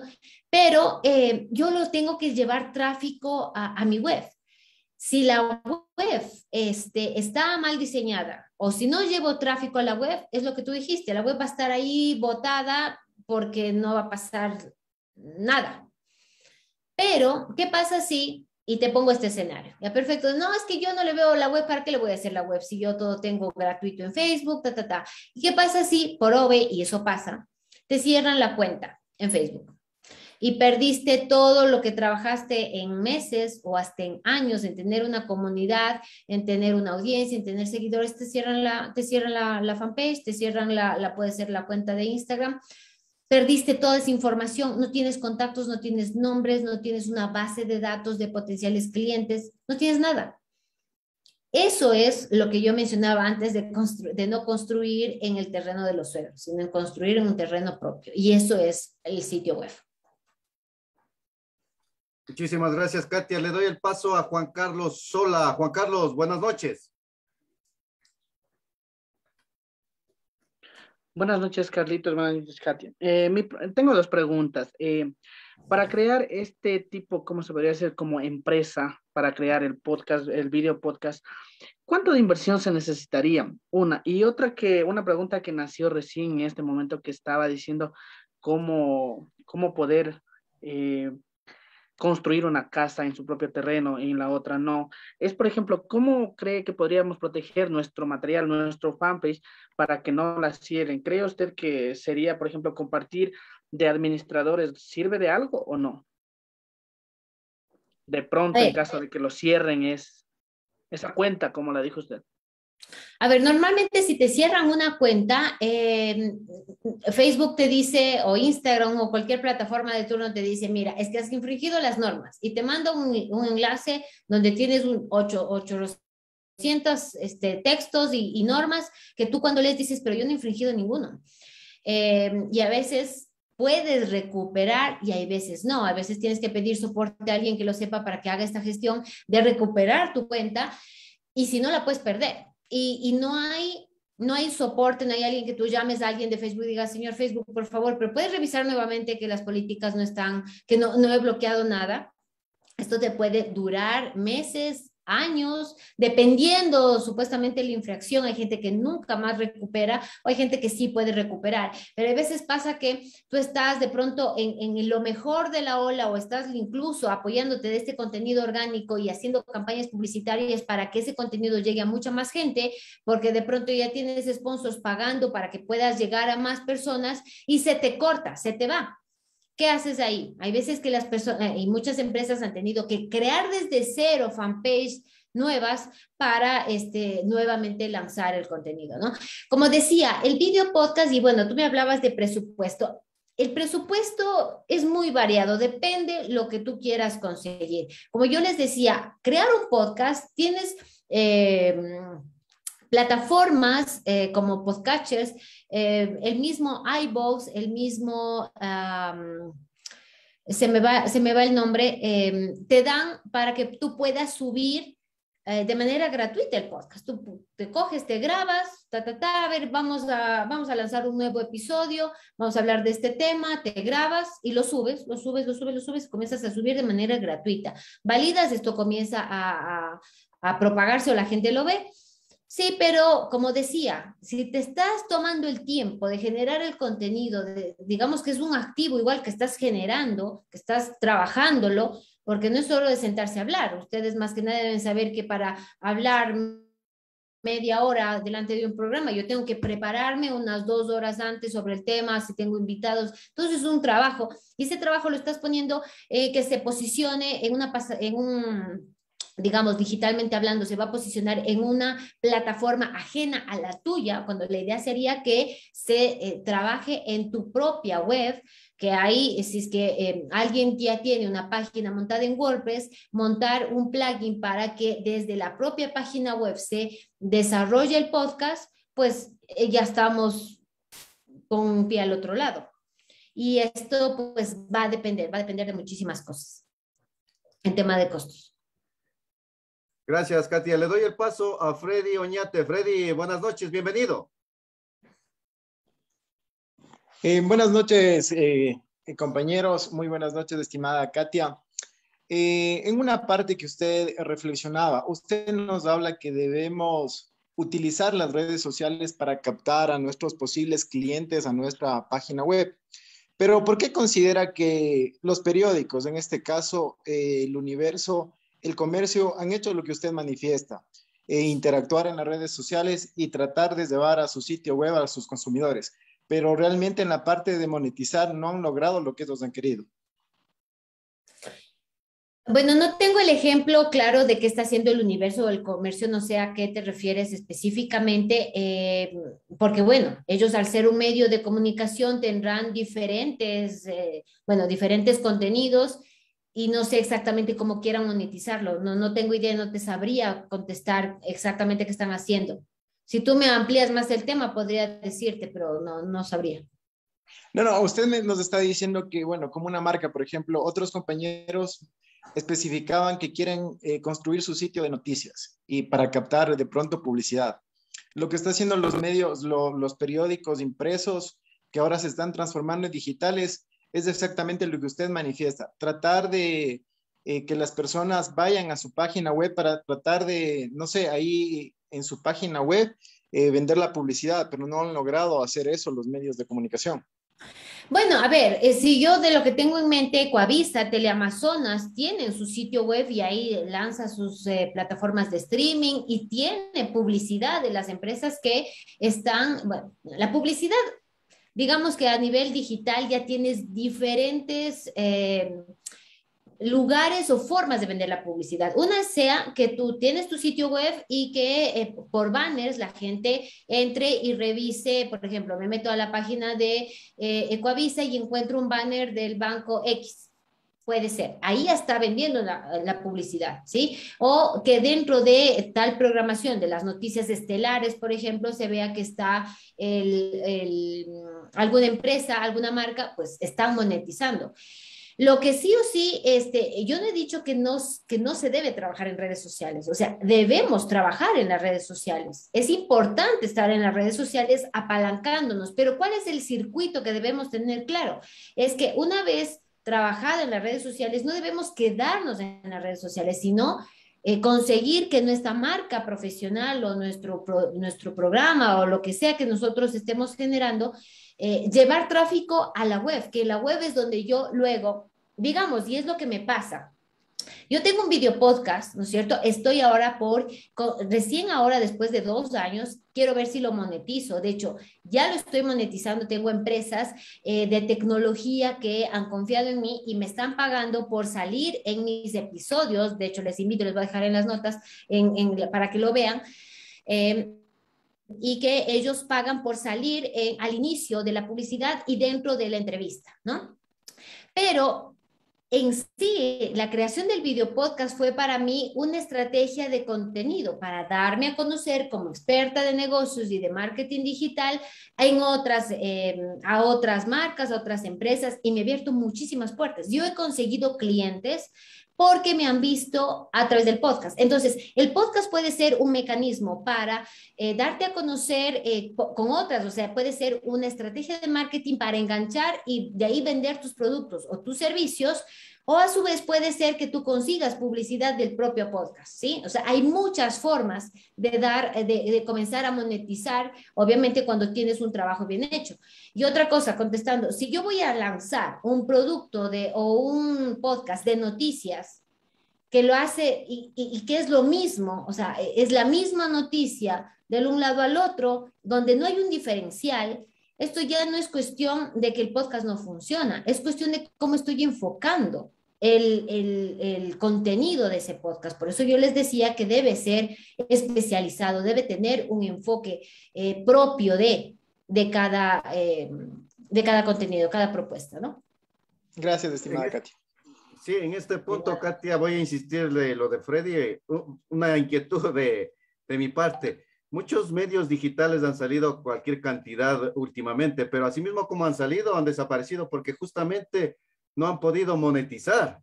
Y eso es uno de los problemas de los medios tradicionales últimamente, es de que justo, insisto con esto, no se ha podido monetizar y, y, reitero que gran cantidad, y usted ha visto, Katia, que gran cantidad de medios digitales han, salido han salido desde que están en Internet, pero asimismo gran cantidad de medios van desapareciendo porque justamente no han conseguido monetizar, no, no logran sustentar los ingresos para mantenerse. Digamos que este no es un problema de comunicación, es un problema de cómo está concebido el negocio. ¿Ya? Les quiero poner el ejemplo, no sé si ustedes, esto pasaba en Tungurahua, pero acá en Pichincha un tiempo pasaban los food truck.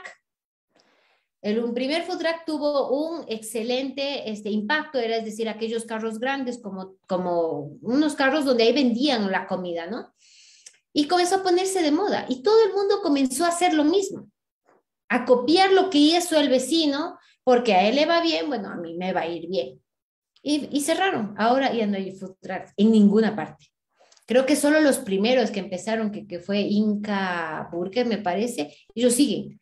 ¿Por qué? Porque ellos tenían una filosofía de negocio. Y entonces a eso me voy. Cuando vamos a lanzar un, eh, un programa, un programa es igual, es un servicio a la comunidad, que yo por un lado tengo la comunidad que me escucha y por otro lado tengo aquellas empresas que quiero que moneticen mi programa.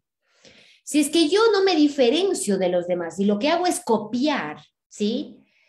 Pues, ¿cuál es el valor agregado? O sea, de, de 30 que hacen lo mismo, no, no, no, no hay, no hay ese, digamos, ese interés. Pero si yo, eh, y digamos que por eso también ha funcionado lo que está haciendo, eh, vaya, se me fue el nombre, eh, de estos que dicen, Ah, eh, algo divino, que se me fue los nombres, no me acuerdo el nombre de estos eh, periodistas que recién tuvieron. Castigo Divino, La Posta. Eh, Castigo Divino y no me acuerdo el nombre. La Posta. Es, un programa, La Posta, exactamente.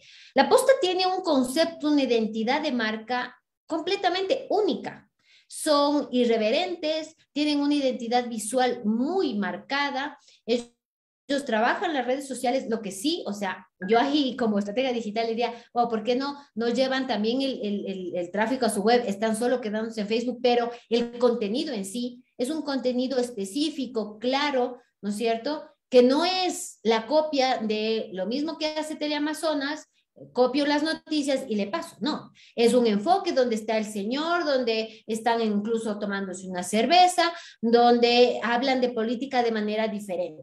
O sea, a eso me voy yo. Nosotros cuando lancemos algo, no tiene que ser la copia de algo, es decir, agarro las, las, noticias, que entiendo que ustedes tienen sus fuentes de noticias, agarro las mismas noticias, las pongo, solo pongo mi, mi logo y ya está. ¿Qué, ¿Cuál es el valor? ¿Cuál es el aporte que estoy dando? Por eso no funciona. No es porque no funcione el formato. Y eso más, están haciendo solo utilizando, vuelvo y repito, las, eh, los, los live de Facebook, de, de, Instagram, están trabajando en plataformas de ajenos cuando no hay. Para esto hay que sentarse a trabajar una buena identidad de marca, de marca profesional y saber exactamente cómo me diferencio. Por eso lo importante es en qué soy bueno y luego analizar qué está pasando en el mercado, qué es la competencia y cómo me diferencio. ¿Qué es lo que yo voy a hacer de único, de diferente? ¿Qué es, ¿Cuál va a ser mi propuesta de valor diferente? Si no hay, ahí va a estar las consecuencias, porque todo el mundo me va a ver lo mismo como los otros 20 medios que han sacado y que están replicando las mismas noticias sin ningún son ni tono, es lo mismo. ¿Sí? O sea, la clave está en ser creativo e innovador permanentemente. Por supuesto, por supuesto. Y como les decía, o sea, ¿por qué no lanzarnos en un tema específico, de un nicho en específico?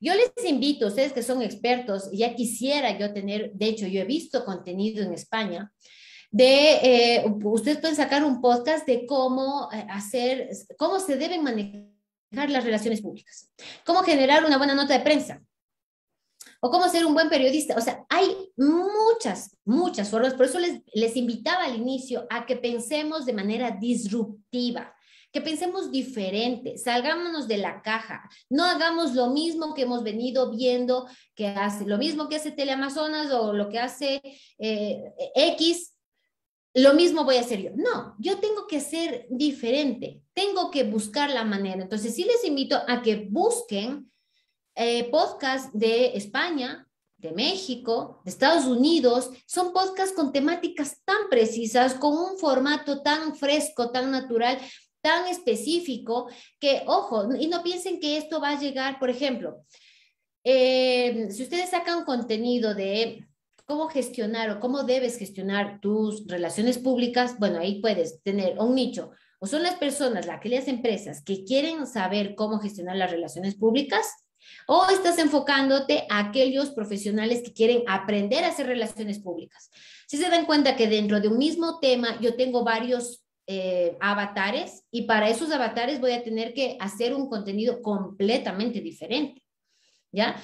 Este contenido eh, pueden ustedes lanzarlo y no solo quedarse aquí en Ecuador. O sea, pueden haber gente, empresas de otro lado, si, si mi enfoque es dar tips de cómo manejar las relaciones públicas para empresas, les aseguro que no van a haber solo empresas del Ecuador interesadas en ese tema, sino van a haber empresas de habla hispana que estén interesados en ese enfoque. Por eso pensemos que estos canales digitales nos ayudan a eh, internacionalizar lo que estamos haciendo, a llegar, a romper fronteras, a no pensar solo en Tungurahua, solo en Quito, solo en Guayaquil. Yo puedo salir, pero con un, con un enfoque específico, muy nicho, muy, muy, de, muy de, de mi identidad de lo que yo quiero proyectar. ¿sí? Esa es la clave. Y, y la clave también sería, como dice, dice usted, en el sentido de especializarse, o sea, no ser, no ser todólogos. Exactamente, Carlos. Esa es la. No debo ser todo. Yo quiero. Eh, eh, lo que yo he visto. Hay muchos medios que sacan lo mismo que de deportes, que de noticias farándula. O sea, todo. Quieren abarcar todos como. No, no. Enfoquémonos en, nichos más específicos. Yo les aseguro que va a ir, pero claro, hay, hay todo un trabajo atrás. Tengo que trabajar mi branding, mi marca, cuáles son mis valores, cuál es mi competencia, cuál va a ser mi propuesta de valor, qué quiere mi público objetivo, qué es lo que quiere. En base a eso yo voy a generar el contenido. Y cuando tenga esa audiencia cautiva, y para eso obviamente se necesita tiempo, se necesita una inversión, eh, de manera orgánica yo podré llegar a 100, 200 personas porque tengo mis contactos, porque ya comienzo a publicar, me, me mato también trabajando en las redes sociales. Pero algún momento voy a necesitar invertir, necesito publicidad. Necesito pautar en las redes sociales para que en lugar de que llegue a 100 personas, llegue a 3.000 personas. Y con esto, con esta constancia, esto eh, es como crear una empresa. Una empresa no se construye de la noche a la mañana. Entonces, hay un proceso que hay que trabajar y que mucha gente a veces no está dispuesta a hacer. Entonces, o, lo haces solo, que es más difícil, o también te puedes asociar con otra persona. Por eso decía, fijémonos cuáles son nuestras fortalezas, nuestras debilidades. Si mis debilidades no es manejar la parte digital, bueno, ¿con quién me alío o con quién busco o tengo dinero para contratar a alguien? Todo eso tengo que analizar en la parte del diagnóstico que les mencionaba en la, en la marca este, profesional. Es todo un proceso, es montar un, negocio, una empresa. Sí, por ejemplo, en el caso del periodismo, si a mí me gusta, por ejemplo, soy eh, aquí en Ambato, Tungurahua, se caracterizan por ser, por ejemplo, a la gente le gusta mucho el automovilismo. Y me gusta a mí el automovilismo, especializarme a hacer un programa específicamente de automovilismo. Ahí está un tema maravilloso. Ah, solo ahí es un tema maravilloso. Yo, me, yo soy un experto, un comentador de lo que pasa en el, en el, en el, en el automovilismo, en el ciclismo. Conozco, invito, hago entrevistas a aquellas personas líderes de eso, me doy a conocer y ahí la gente que, por ejemplo, hablando del tema de automovilismo, puede ser que ya comienza a tener una audiencia tan segmentada que, claro, las empresas de automovilismo van a querer pautar en mi programa porque yo tengo una una audiencia cautiva y muy específica. Yo sé, yo tengo tantos temas hablando, pues, de, no sé, del mantenimiento, de los, de los nuevos, eh, los nuevos circuitos, qué sé yo, hay todo este sector que no conozco mucho, pero que habrá mucho, mucho por hablar. Y gente fanática y empresas que quieran llegar a esa gente fanática. Finalmente, una inquietud ya se ha acaparado las preguntas. Los medios tradicionales se están apalancando, ya están, por ejemplo, programas, por ejemplo, de la radio todos los programas de radio ya también están haciendo transmisiones en vivo. ¿Es correcto eso? Que se estén, o sea, los medios tradicionales haciendo los, los programas que, que, ellos tienen con transmisiones en vivo? Es que justamente se dan cuenta que a dónde va el negocio, a dónde van las tendencias del consumo, la gente, la gente está en redes sociales. De hecho, es interesante ver cómo dicen ahora, tú eres el reportero, tú desde donde estés, mándame la foto, mándame el este, yo, entonces es esa manera también de interactuar es, es digamos, eh, eh, el darse cuenta a dónde va y yo no me puedo quedar atrás. En algún momento la televisión como programa va a caducar, ya no va a haber televisión, no me refiero al aparato, no me refiero al programa, porque ya la gente va a querer tener un Netflix o querer alquilar por último eh, incluso hasta los, yo les comento, hasta ni los canales, los de los de DirecTV, esas cosas, yo, yo, ya no los consumo porque es ver la película cuando lo que esté dando. En cambio, en un Netflix, en un Amazon de turno, en Amazon Prime, que también tienen ahí, tú consumes lo que tú quieres ver en el momento que quieras ver. Es que esa es la tecnología. De hecho, los, las nuevas generaciones, los chicos y todo eso, hoy les pregunto, ¿sus hijos ven, los hijos pequeños, ven televisión? O sea, mis hijos ya no ven televisión. O sea, ellos están o en YouTube, o están en Netflix, o están en estas, eh, estos contenidos on demand. A es, allá vamos. Y si nosotros ahora no nos ponemos las pilas y no nos modernizamos, pues tenemos los días contados como profesionales o como, o como para lanzar algo, que yo creo que aquí hay tanta gente tan valiosa que tiene tanto contenido, que si solo se sale de la caja y piensa de manera diferente, puede sacar algo relevante en su sector y que solo esa persona lo va a poder sacar. Bueno, estamos en la parte final, dos inquietudes finales, es interesante este tema. Le doy el paso a Gloria Isa y luego a Yesenia Guevara. Gloria, primero, Gloria, buenas noches, bienvenida. Gloria, préndele el micrófono, por favor. Ya prendió el micrófono. Sí, eh, Omar, si le das paso, por favor, a Gloria. A ver, préndele de nuevo, Gloria, por favor, el micrófono. Y estaba encendido, de nuevo le apagó. Ya, no, se le, se le apagó Gloria, nuevamente. Gloria, préndale el micrófono, no, Gloria, por favor. Ya, ahí. Ahí me escuchan. Sí, ahí, listo. ¿Cómo están? Muy buenas noches con todos. Em, bueno, estaba escuchando detenidamente todo lo que acabó de mencionar em, nuestra mentora. Em, bueno, dentro de mis dentro de mis criterios vendría a ser que muchos medios de comunicación eh, pequeños, ¿sí? Que, que, están surgiendo, salen prácticamente por, la, por el objetivo de brindar noticias. Y las noticias pues son en ese momento, en ese instante, la coyuntura y, y obviamente todo, todo el momento, ¿no? Pero eh, lo que ahora acabo de escuchar eh, de nuestra mentora, pues es que eh, nos enfoquemos en lo que son programas, porque para poder sacar solos un canal de televisión es muy duro porque se requiere de mayor ingreso, de mayor inversión. Entonces, ahora mi inquietud es, por ejemplo, eh, yo quiero poner un ejemplo, por ejemplo, Badabun. Badabun es una marca y de esa marca pues van apoyando varios influencers. Ahora, en donde creo que nos, como un compañero mencionaba y decía que nos caíamos en la parte de monetizar. Eh, hay, bueno, yo tenía una compañera que igual seguía marketing y mencionaba y decía que eh, habían algunos parámetros en donde eh, los medios, los programas tienen que pautarse eh, para que puedan, perdón, tienen que tener para que puedan pautarse. Entonces yo creo que esos serían los parámetros para que nosotros con nuestro programa y con, digamos, con nuestros seguidores se logre monetizar.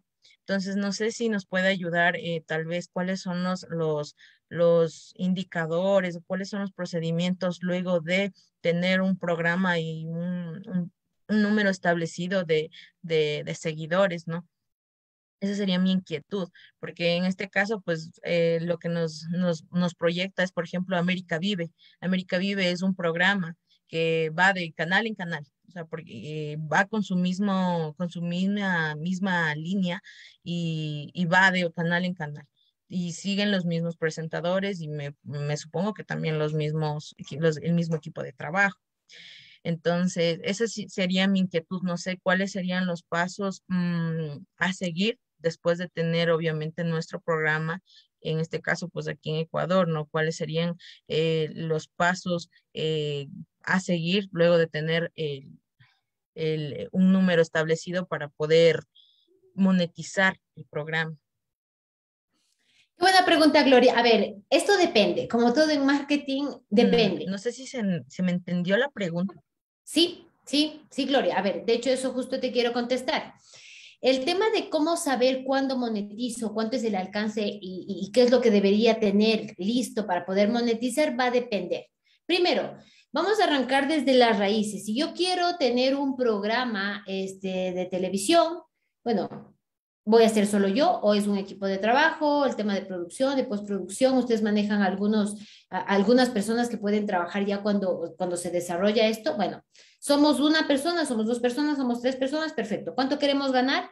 Muy bien. ¿Cuáles son los costos que tenemos de, para invertir? ¿Sí? Este, bueno, Facebook cero, tengo que crear la web, tengo que generar contenido, tengo que trabajar en esto. Muchas personas em, eh, empiezan con algo de dinero, pero la mayoría empieza con el recurso humano, con el tiempo. Nosotros trabajando, pero debemos desde el inicio ponernos un sueldo. Esto hace que nosotros tengamos que eh, organizar un punto de equilibrio, es decir, para yo cubrir, esto es básico dentro de los negocios, para yo cubrir ese, em, que esto sea sustentable para uno, dos o X personas, tengo que conseguir, no sé, el auspicio de seis personas pagando 250 dólares para cubrir X valor, que eso va a ser para cubrir mis costos fijos y para cubrir los costos adicionales que tenga que incurrir eh, esto es, digamos que, un cálculo normal que se debe hacer. Cuando yo tengo ya claro ese punto de equilibrio, pues bueno, entonces me voy a enfocar en ver si consigo dos, tres, cuatro, X seguidores, pero más bien dicho, este, sponsors o, o gente que quiera pautar. El tema es cuándo los busco. Entonces, claro, primero tengo que generar ese contenido y tengo que tener una audiencia cautiva para eh, decirle a la empresa, decir, mira, estoy llegando a, mm, no sé, un millón de personas eh, en, esta frecuencia que tienen estas características, por eso les decía, es mucho más fácil llegar o especializarse en un nicho y con una identidad propia, porque yo podré tener claro cuál es el contenido para ese nicho, para atraer a estas personas y buscar estas empresas que quieran llegar a estas personas. Si el nicho es muy específico, no hace falta tener volúmenes tan grandes de audiencia porque pues con ese nicho tan específico voy a encontrar igual empresas que quieran llegar a ese nicho que no, no, les va necesariamente interesar el volumen, sino la, la característica tan específica de esa audiencia para pautar, ¿sí? Pero va a ser diferente si es que yo me especializo en algo muy grande, o más bien no me especializo y soy generalista, ahí pues posiblemente tendré que, bueno, aquí, mismo llegas, eh, sí, llego a todo el mundo, pero ¿y, cuántas visualizaciones tienen? Por eso les decía que aparte de generar ese contenido, de mantener la coherencia, la constancia en el tiempo, si voy a sacar una o dos publicaciones a la semana o transmisiones, pues eso tiene que manejarse en el tiempo y esta es una estrategia digamos que si no tengo el recurso eh, financiero, esto me va a llevar un par de años, o sea, al menos uno o dos años, porque es una estrategia de inbound marketing, es una estrategia de contenido. Sí, pero si yo tengo capacidad financiera o me asocio, a ver, y, y volvemos al tema del FODA. Yo tengo capacidad financiera o no la tengo? No, no la tengo. Entonces, bueno, me busco un socio eh, que si la tenga, le digo, mira, esta es mi propuesta, yo tengo el conocimiento, sé cómo hacerlo, em, este, sé que va a impactar, asociémonos. Tú tienes la plata, ya, yo hago y tú pones la plata. Bueno, invertimos, no sé, 200, 300, lo mínimo en, redes sociales es 90 dólares mensuales para invertir, pero tengo 200, 300, me, invito me invento para invertir en promocionar ese contenido. Bueno, em, eh, cuando yo le muestre el dossier de mi programa a la empresa que quiera pautar, eh, voy a tener números altos, decir, mira, normalmente siempre me buscan tantas personas. O sea, están consumiendo mi contenido, están viendo el contenido ¿ah? y tienen estas características. Ahí es cuando tú tienes que entrar y revisar los datos estadísticos de las diferentes redes sociales, incluso de tus podcatchers también. En el podcatcher te dice, ah, mira, de toda esta gente te vio de España, te vio de Estados Unidos, te vio de México, tienen esta edad, tienen este rango, te escucharon de, de un dispositivo móvil. Por ejemplo, el podcast más se consume en dispositivo móvil. La gente que me escucha a mí está en, el móvil escuchándome. Toda esa información, toda esa data que tú tienes, luego la transformas y la, y la pones en, un dossier muy bonito para lanzar este, y pedir los patrocinios. ¿Sí? Listo. Um, le doy el paso a Yesenia Guevara. Yesenia, buenas noches. Hola, ¿se me escuchan? Sí, sí. Hola. Sí, Yesenia, ah, sí te escuchamos. Bueno, eh, buenas noches. Sí, verá, eh, yo quiero hacer algunas preguntas. Una de ellas es, eh, bueno, yo tengo, estoy ahorita actualmente en redes sociales, tengo la parte de más, más lo que publico es en Facebook, en YouTube y eh, lo que más yo consumo todos los días, o sea, lo que más publico todos los días es las noticias diarias de mi ciudad, ¿no? Voy, hago reportajes y hago. Prácticamente, actualmente estoy haciendo lo que se haría convencionalmente. Pero, eh, como usted dice, hay que estar en un punto específico. y yo me quiero lanzar con el tema cultural porque no he visto en mi ciudad ese tema. Entonces, eh, más que todo quiero lanzarme en el tema de historias, en el tema de personajes, pero eh, actualmente recién ya estoy adquiriendo mi página web con el tema de la empresa que yo formé. En esta parte podría ser una empresa, aunque no está constituida como ella, eh, lo hice con mis iniciales. Eh, con mis iniciales, mi página se llama YGB Prensa Digital. Así lo inicié. Claro que aparte yo igual tengo un Facebook con mi nombre propio, ¿no? Pero eh, yo quiero saber si en la página web que yo estoy creando también debo eh, imponer ahí lo que estoy actualmente haciendo, que mi página se llama, bueno, actualmente la tengo solo en Facebook, se llama Memorias Quevedeñas. Entonces, eh, si la puedo insertar en esta página web que estoy creando o debo de crear otra página web para trabajar en este tema cultural que quiero hacer. Esa es mi pregunta. Gracias. Claro que sí, Yesenia. A ver, si el tema es cultural y la propuesta va a ser justamente de enfocarse en contenido sobre la cultura, pues no le veo problema. Sí se puede enlazar, digamos que es un su proyecto, una, digamos, una mini unidad de negocio, digámoslo así, dentro de la web sí se lo puede hacer. Listo. No sé si es que tenemos el tiempito de una última pregunta con Ruth Mora, Katia sí, no hay problema, Carlos, no hay problema, tranquilo. Disculpará el abuso. no, tranquilo, estoy aquí para servirles. Eh, Ruth, buenas noches, bienvenida.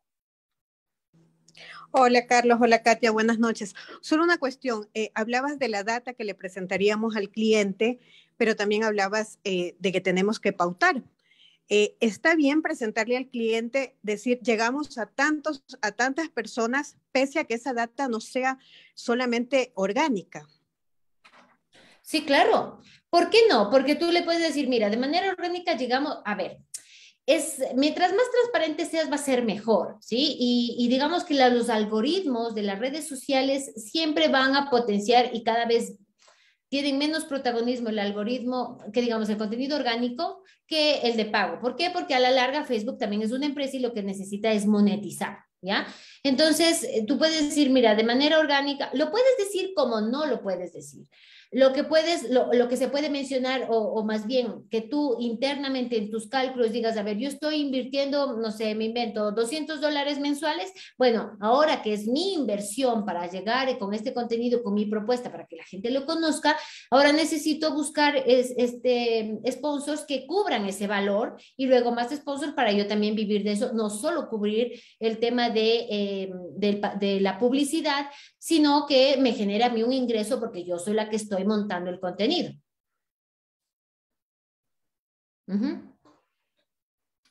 Listo. Tal vez alguna, alguna inquietud adicional, si no ya estamos prácticamente terminando este tema bastante interesante de lo que es el mundo digital. Bueno, me parece que ya estamos terminando. A nombre de Colegio Yo, Carlitos. Sí, sí, sí. Omar, por favor. Una pregunta.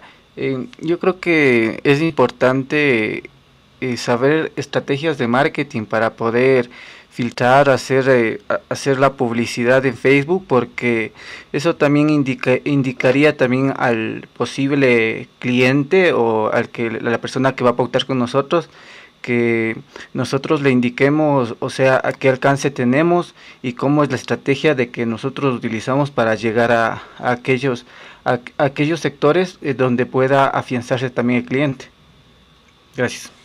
Sí, sí, claro que sí. Bueno, nosotros eh, hemos mencionado algunas, ¿no? Primero, eh, la estrategia de contenido, o sea, cómo yo genero un contenido alineado a, un, a una audiencia específica de manera constante. Luego, la estrategia en social media. Yo tengo que aprender de igual manera a ser constante en las publicaciones que debo manejar en social media, manejar mucha creatividad, Em, aquí, bueno, imaginación al poder. En, como decía, nosotros competimos con la gente socializando, haciendo cualquier cosa y nosotros debemos impactar. Por eso la importancia nuevamente de enfocarnos en nichos cada vez más específicos, ¿no? Y pues las campañas publicitarias. Ahora, este... No sé, y eso le, comentaré, le iba a comentar a Carlos, yo normalmente suelo hacer este, cursos y mentorías grupales para explicarles estrategias tanto de Em, de inbound marketing, es decir, de generación de contenido, incluso cómo ustedes podrían montar su podcast dentro de su propio sitio web y este, estrategias de publicidad. Son varios módulos que este, tendría que organizarme yo. Normalmente estos módulos duran este, un mes cada módulo y este, para las personas que estén interesadas, podríamos hacer algún precio especial para aquellas personas que en grupo puedan pagar más, más económicamente. Esto habría que, verlo, pero sí, se necesita estas habilidades, que es lo que les mencionaba, que si yo no las conozco, o las adquiero, o contrato a alguien, o me asocio con alguien que tenga, pero algo tengo que hacer. ¿Sí? Para poder salir y, y, y, no, que no haya pretexto de no poder enfocar todos mis conocimientos en estas nuevas eh, tendencias y canales digitales.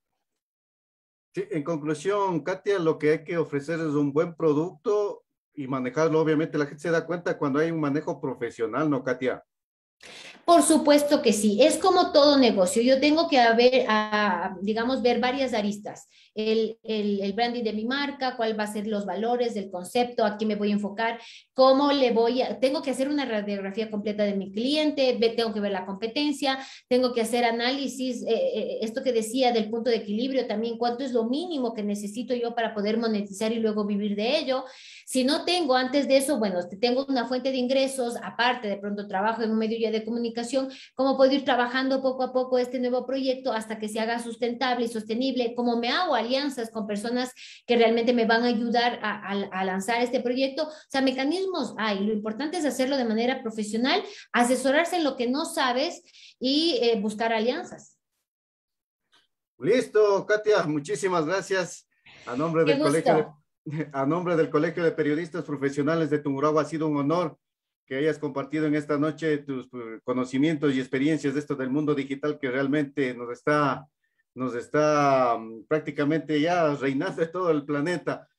Palabras finales de Katia, un gusto. Me están preguntando aquí por interno dónde algún teléfono, un número de celular o WhatsApp que te puedan contactar. Me están preguntando por acá, Katia, por favor. A ver, les voy a dejar ahorita mi, mi WhatsApp aquí en el, en el grupo. Y bueno, todas mis redes sociales también les voy a dejar para que ahí me puedan seguir y la web. la web, cualquier cosa en la web van a ver también muchísima información. Más bien, mil gracias, mi querido Carlos, y, y en general a todos los directivos del gremio de periodistas. Realmente para mí ha sido un honor poder dirigirme ante ustedes, profesionales de alto nivel que tienen mucho por aportar eh, y que nada, más bien espero haber puesto esa semillita, esa, esas ganas de hacer algo diferente. Y que, lo, y, que se, y que miren, piensen, por ejemplo, no me acuerdo si era Marta, no me acuerdo quién me dijo que tenía ya la parte de, de cultura, que no lo piense solo en la parte nicho de, de puede aplicar cultura y, y, y esta cultura, este programa que ella puede hacer, estoy segura que la gente de los Estados Unidos, de otros países coterráneos de España que están fuera, por poner un ejemplo, van a estar interesados en ese programa. Así que pensar en eh, cambiar el mindset, pensar de manera internacional. ¿Lo podemos conseguir? Sí, lo podemos hacer. Hay que eh, prepararnos. De hecho, para esto están las estrategias digitales y estos canales digitales que nos abren fronteras, ¿no? No, no pensemos solo en nuestra ciudad, en nuestro lugar sino, y no solo, eh, solo en Ecuador, sino también en otros países. Así que esta invitación a salirnos de la caja, a, a, cambiar el chip, a capacitarnos y a buscar la manera de que esos conocimientos que yo tengo hoy por hoy, aquellas alianzas, aquellos contactos que yo tenga, eh, sirvan para enfocar en algo diferente. Muchísimas gracias y compañeros. Hasta una próxima oportunidad. Este fue el webinar número 54 con la presencia de Katia Mann. Un gusto, Katia, y hasta la próxima. Bendiciones y buenas noches, compañeros, con todos. Muy amables.